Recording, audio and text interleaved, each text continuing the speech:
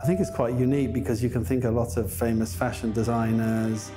furniture, you think hundreds of years ago, people like Chippendale, you talk about antiques, but in his time, the amount of new designs and creations that he's literally come from him